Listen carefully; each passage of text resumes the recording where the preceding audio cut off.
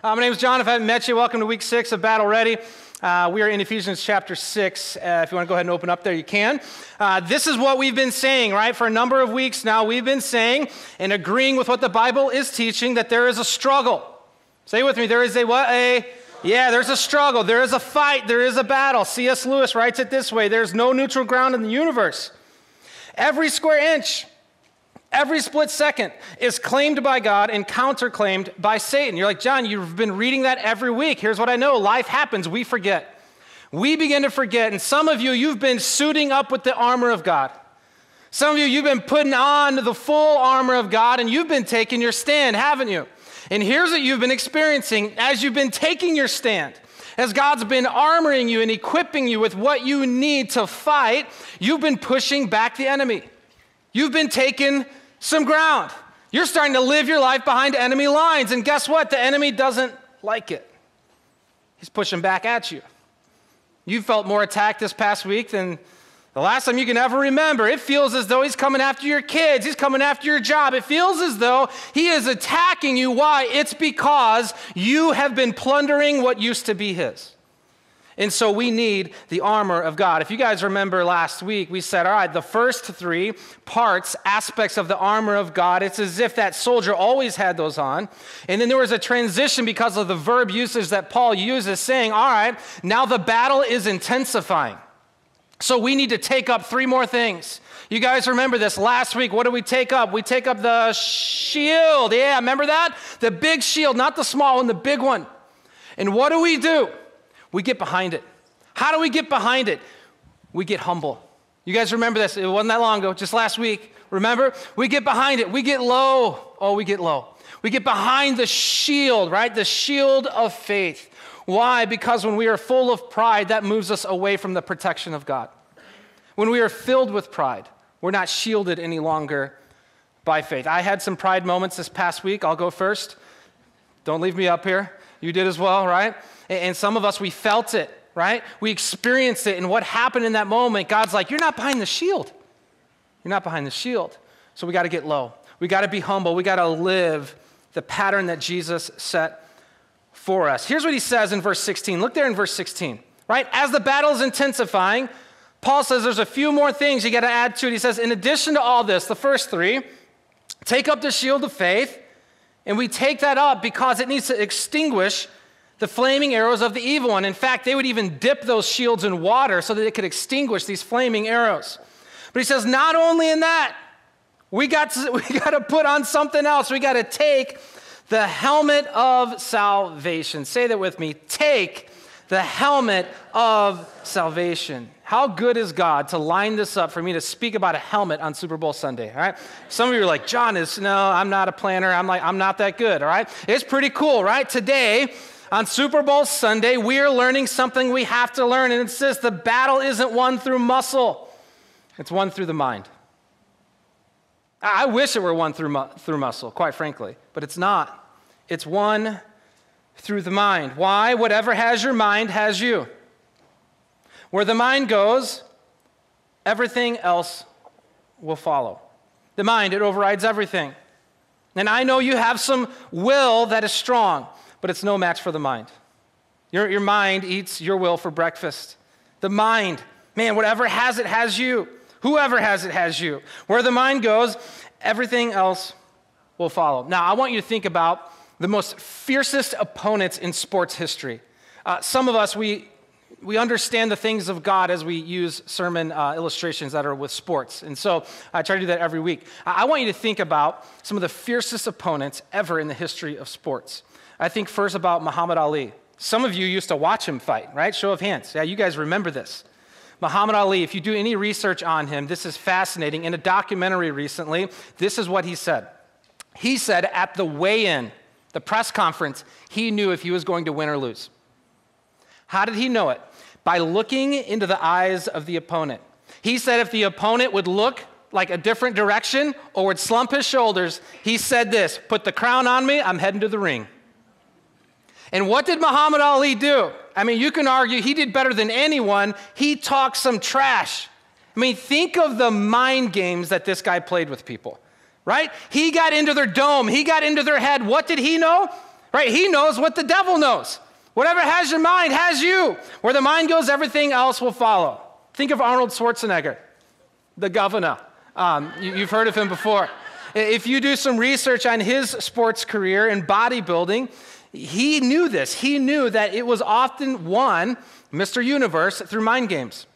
Uh, there was this opponent of his named Lou, uh, Lou Ferrig, Ferrigno or Ferrigna, and uh, I saw some interviews about this that were, it was actually sad, but it's, it's also kind of a little bit funny. Um, what Arnold would do to Lou is he would just get in his dome. It was so bad. He would actually say, I actually should have Chaz do this. You have such a good Arnold impersonation.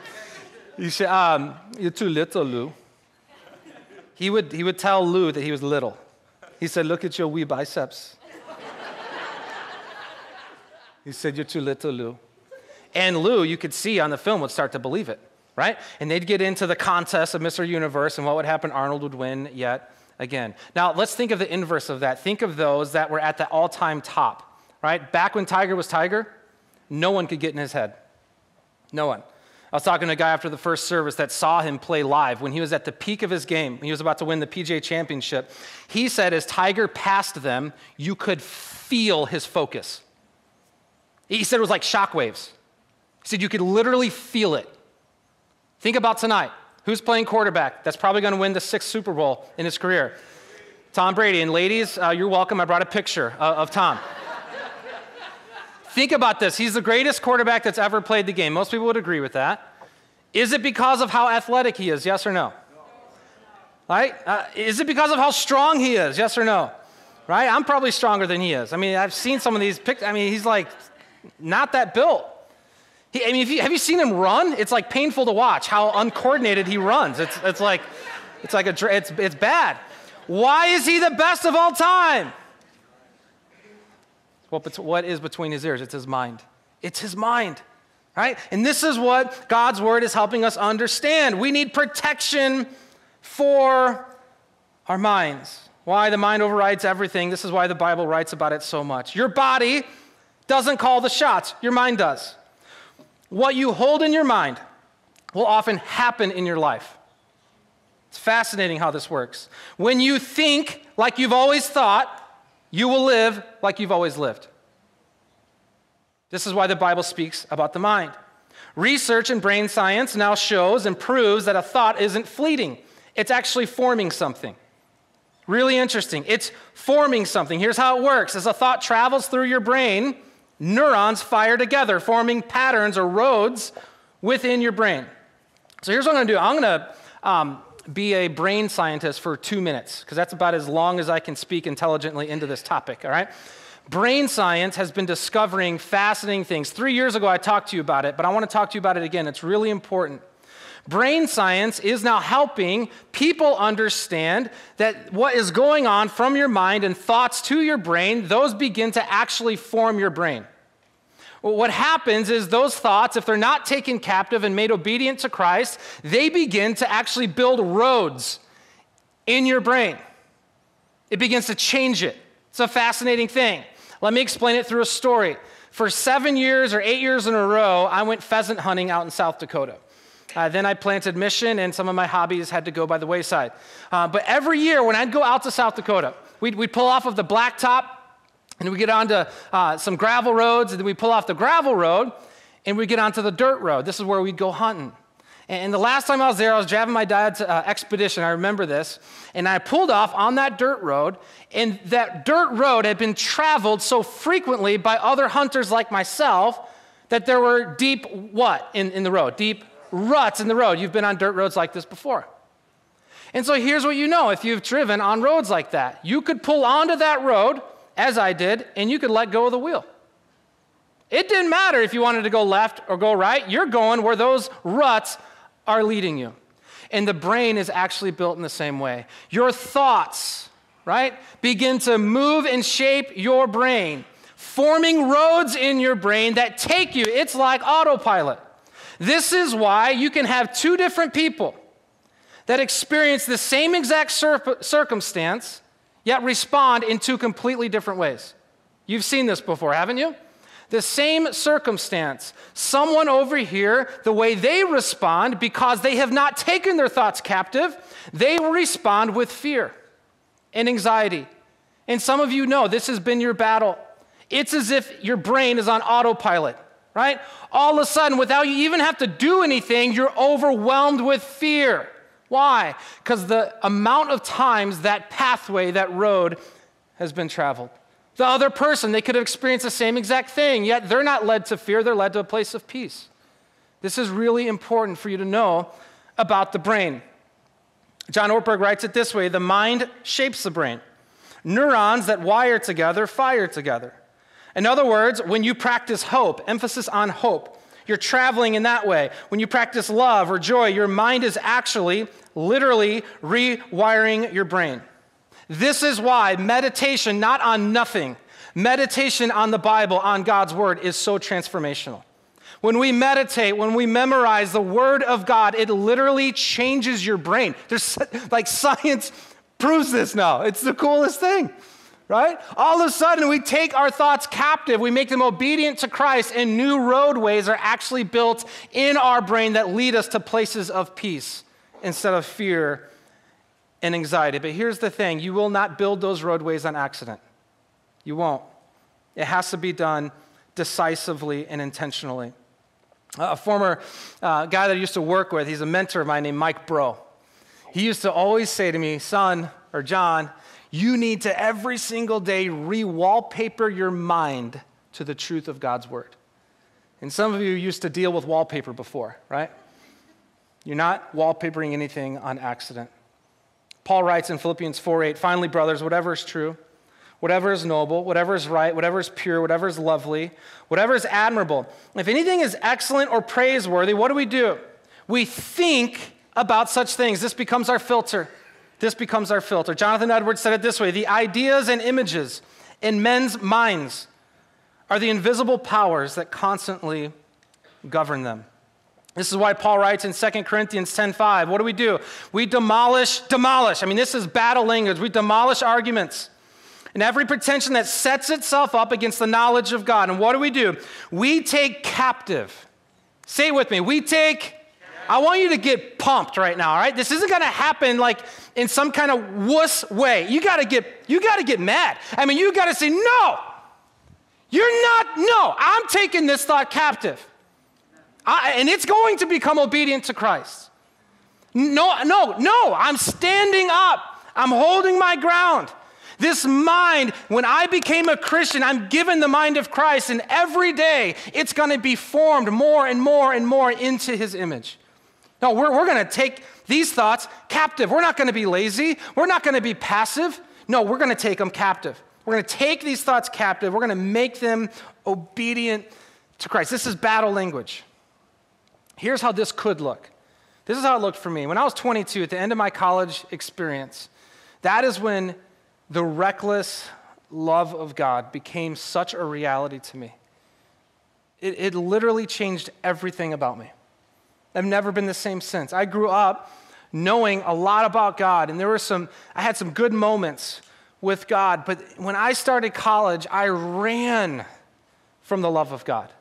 And I'm pretty fast. I ran from the love of God.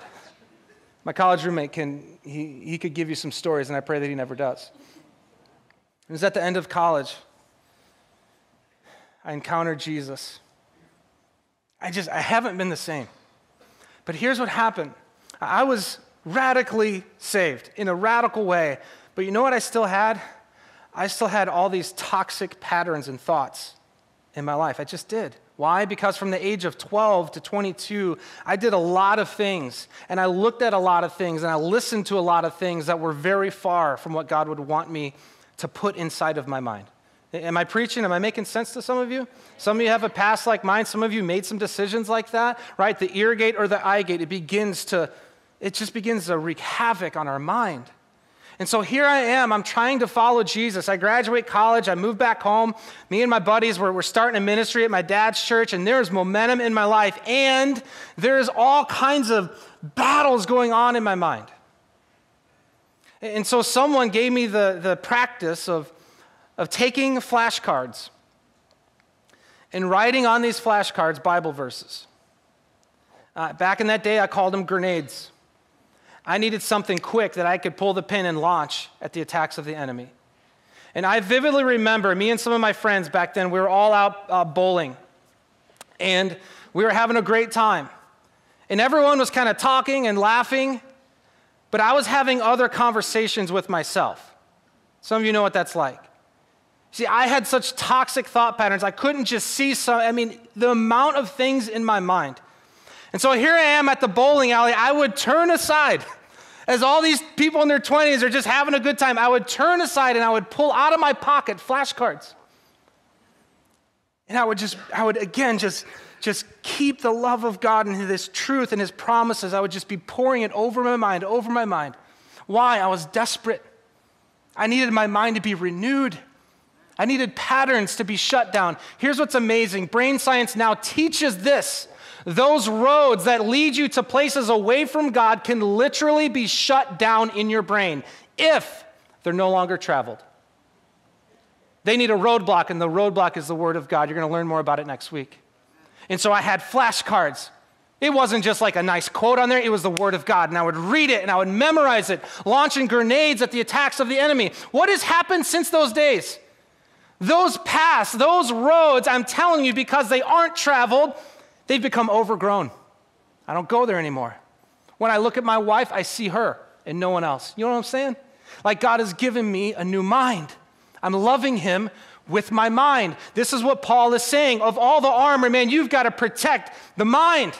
Whoever has it has you. And this is how we do it, right?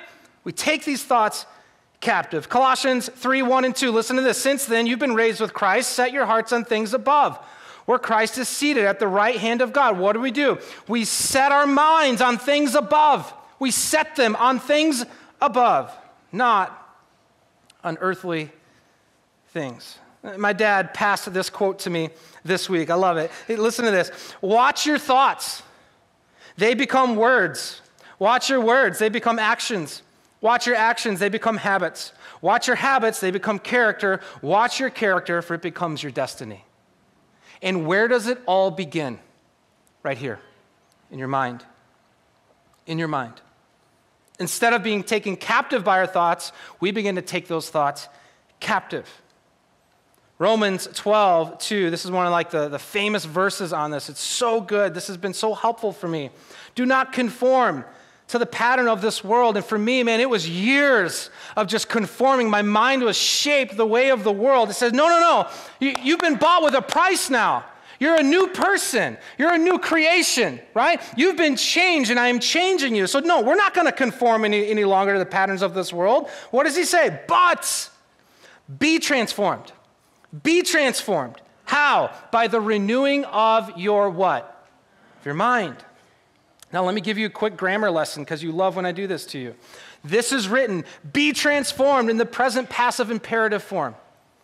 And that's become one of our favorite tenses, right? When things are written that way. Why? Because it's just so powerful. Be transformed. Let me go through it real quick. It's in the imperative. What does that mean? It means it's a command. And it would not be a command unless it led you to roads of peace and prosperity and wholeness. God isn't just powering up on you because He can. He made you. He loves you. He, he is offering you abundant life. He wants you to experience this kind of life. It's, it's a command, it's imperative. Be transformed. He's not messing around. He's saying, not if you have time, not if you complete your other items on your to do list. This is the top. Be transformed. Make it the primary thing in your life. It's imperative. It's also in the passive tense. What does that mean? Here's what it means it doesn't mean like be passive. That's not what that means. It actually means it's ongoing, right? It means, I'm sorry, that's the present. Passive means this the action of the verb is done to the subject. All right, this is good. Listen, the action of the verb is done to the subject. What does that mean? Here's what this means we have a command to be transformed by someone else. This is what the passive tense means. This is actually great news. When we think be transformed, like, oh my goodness, I, I don't know if I can do that, you can't do that. God's saying, I know you, okay? I'm the one that's gonna do that.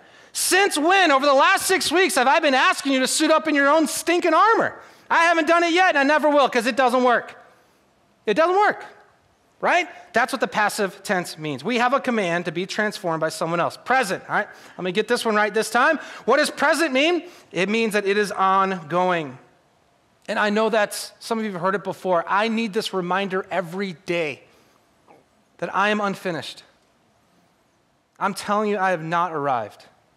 I, am telling you that this needs to be a priority every single day. I wish it was one and done, but it's not. It's in the present tense, right? Our thoughts have to be wrangled. This morning, I was finishing up this message. I was thinking about my thoughts like my girls when I try to put them down at night. Some of you have young kids. Do they stay in their room?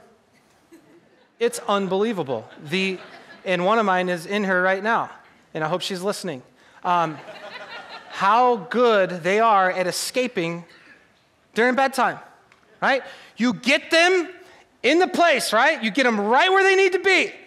You walk out of the room, you're high fiving the Lord, you're high fiving your wife. This is good news. We go downstairs, we're going to have adult conversation, right? And then all of a sudden, you hear the little footsteps. How do they get out? I don't know. I mean, it's a pretty incredible thing that they do this. That is so much like our thoughts. You set them in the right place, you tell them to stay there, don't come out. You come down, you're trying to have a, I don't know, good conversation with someone, all of a sudden, here are these thoughts again. What in the world is going on? God's saying, listen, man, this is something that is not done once. This is something that is done over and over and over again. The mind. This is where the most fiercest battles are fought and won. Satan, what does he do? He plants lies, he whispers insults, he seeds the mind with all kinds of thoughts that run counter to the truth of God. That's what he does. And he knows if he can control your mind, he can control you. So, this is why we rise above the attacks. And to rise above the, re- the attacks, it requires a mind that minds Christ. That's what it requires. It requires a mind that is being renewed every single day. Paul says, and to have that kind of mind, it needs to be guarded by something. It, it, needs to be guarded and protected by something. And what protects it? What guards it? What word does God say to Paul? And Paul begins to write down. What is it? We have a, a helmet of what? A helmet of salvation, salvation right? So think of all the things it could have been. But we're instructed that we take on the helmet of salvation. So, salvation, it guards our minds. Salvation, it protects our minds. How does it do that? This is what I've been thinking about all week. Of all the things God could have put in there, He put in salvation. Why did He put in salvation? How does this, like, practically and literally guard my mind? In at least three ways. Let me touch on these pretty quick. Number one, salvation guards us by the past. Here's what I mean by that we were saved by something that happened. Something happened by someone named Christ a long time ago on Calvary, on the cross. Salvation, it guards my mind by the past. I've been justified, right? This is the first part of the understanding of salvation, this massive, comprehensive um, word that we have to understand. Salvific history points to a date when Christ conquered sin and death on a Roman cross. It points to a date when that Roman cross was occupied, and three days later, when the tomb was no longer occupied. This is really powerful stuff. Salvation, how does it guard us? It guards us by what has already happened. It guards us by what we just got done singing about the love of God, right? This is how it guards us. The past, what has happened, becomes a helmet for our minds. Right? When we survey the wondrous cross, we see that Christ has already done it all. He's paid for it in full. Psalm 103:12. He has removed our sins as far as the east is from the west. The east will never touch the west. This is powerful. When we walk around with this kind of truth, our minds are guarded. Listen to this quote. I love this quote from St. Athanasius. I mean, just with that name, you know this is going to be a good quote. He became what we are that he might make us what he is. I've been thinking on that for a number of days. He became who? Christ. What we are. What are we? We're sinners in need of a Savior. And you may not agree with that yet, but I'm hoping one day you will. He became what we are on the cross, taking upon himself the sins of mankind, getting ready to absorb the wrath of God. He became what we are. Who did? Christ. Well, why did he do that? So that he could make us what he is. What is he? He's righteous. Now, let me give you something to think about. In the eyes of God, salvation declares you as righteous as Jesus is. Well, that can't be the case. It is the case. Think on that for a little bit. And you keep walking around, and I keep walking around reminding God of our sin. He's like, hold on a second, I don't see it. I mean, you can keep talking to me about it, I don't see it. You've been justified, man. You are covered. That exchange happened. Jesus said, You give me your garments of sin, I'll give you my clothing of righteousness. It's powerful stuff that guards our mind. Guards our mind. Salvation guards us by the past. Not only that, it guards us in the present. Salvation guards us in the present. Salvation means we've been saved and we're being saved. Wait a second. Jon, are you saying that there's like, like I can point to a date, some of you can point to a date, some of you can't. You can point to more of a season, maybe, right? Are you saying I need to like pray again and ask Jesus to, like, I, I did that. What does this mean? Salvation, it is this massive word, this majorly comprehensive word. It means in part that you've been justified.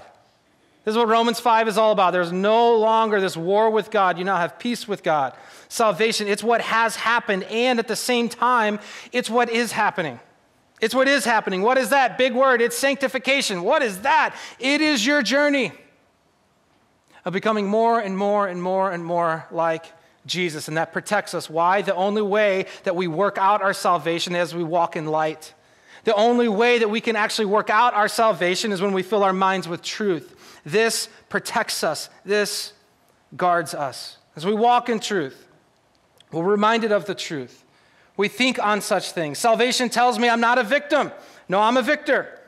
I'm not a mistake. No, I'm deeply loved by God. Salvation, it tells me I don't have to control everything. No, God's in control. He's sovereign. He's got it. Controlling the world is like, that's beyond your pay grade.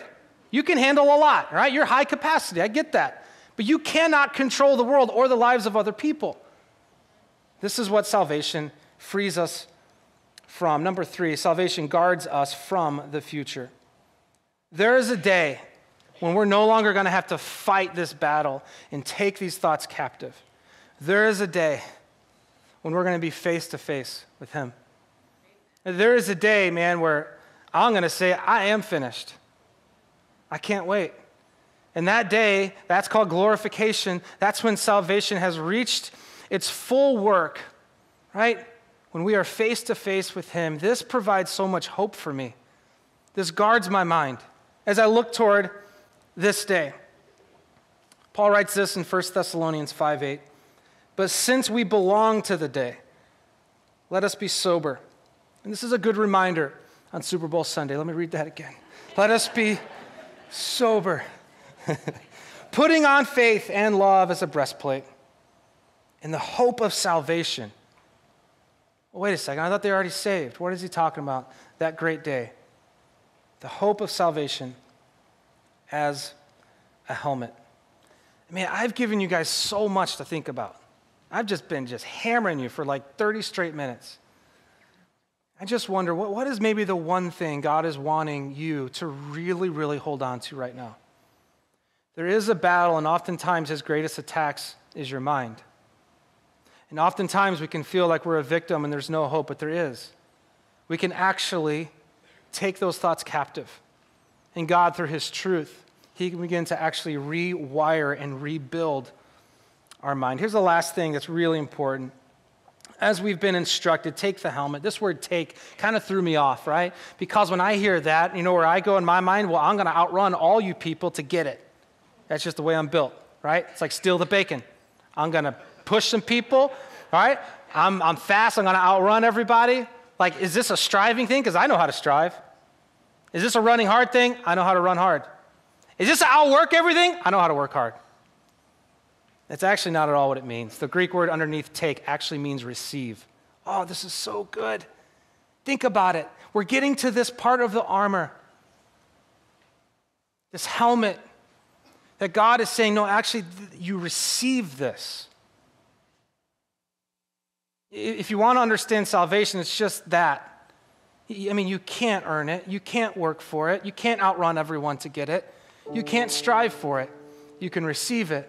And so it's this image of a soldier out there in the battle. Man, he's taking a break and the helmet's off and the sword is down and the shield is down. Man, he's just catching his breath. And all of a sudden, like they're saying, man, the arrows are coming again.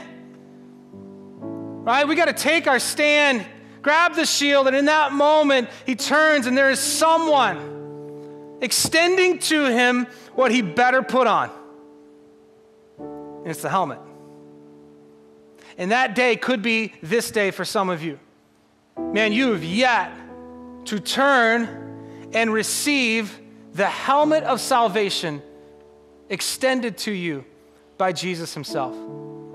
Him saying, Here it is. I've already done the dimensions, custom fit. Would you put it on? Would you receive it? But Jesus, I haven't. No, just take it. But I haven't. God, no, just receive it. I'm extending it to you. I want to know what are you waiting on? I'm serious. What are you waiting on? Others of us, man, we remember when we grabbed that helmet, it's like we couldn't grab it quick enough. Are you kidding me? Like he's extending this to me? We took the helmet, we placed it on our head, and yet we continue to do that. Why? Because we've been rescued for victory. Today, we're going to take communion, and what that means is we're going to receive it. It's not a race up here, we're going to walk up here. We're going to pull up to the Lord's table and we're going to take the bread that represents the body of Christ. Man, this is powerful for our mind. And we're going to dip that into the juice that represents the blood of Christ. And we're going to remember, we're going to think on the most incredible thing that ever has happened in human history. The Son of God came for our rescue. And so, if you guys would stand to your feet, let me pray for our time of communion. When you guys are ready, you can approach the communion tables. There's two down here and two in the back. God, thank you. I'm asking, God, we've been talking about this a lot, me and you. I'm asking you to help us right now. So many of us, there's just so much fog in our heads for a lot of reasons. I'm asking for like a clarity right now. I'm asking for you, Holy Spirit, to just come right now, for you to help us think as you would want us to think. I'm praying right now that there'd be decisions made that would become these roadblocks. No longer, we're, we're no longer just casually traveling those paths anymore. We're not doing it. God, give us your word. Make us diligent, vigilant about this. God, some, they came in this morning, they're entertaining lies. There are so many lies filling their minds. What I'm asking for right now, God, is that you would expose those lies. There'd be like a spotlight right now oh, they'd see it for what it actually is. I mean, that's not God. That's not who you are. No, that's, that's the lies of the enemy. God, would you do that? Just bring a spotlight. And God, we're going to take communion because you call us to do this as your sons and daughters to remember of all you've done and all you're doing and all you're going to do. We thank you so much. We thank you so much for the helmet of salvation. We ask this, Jesus, in your name. All God's people agreed and said, Amen.